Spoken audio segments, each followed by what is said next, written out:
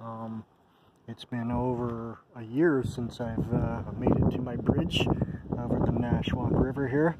And um, this is the mouth of the Nashwaak flowing into the St. John River, the huge river that flows from the northern part of the province all the way down to the south to the ocean. And um, this was my hangout spot. I'd always come down here with the buggy and park and smoke a J and watch the sunset and, you know, just be a nuisance to society, that kind of thing.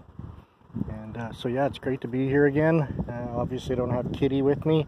Still got to work out a way on getting her onto this uh, with a uh, in a safe manner.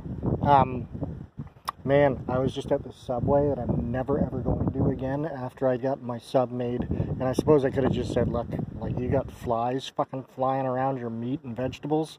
That's really disgusting. Uh, you should do something about that, but I didn't.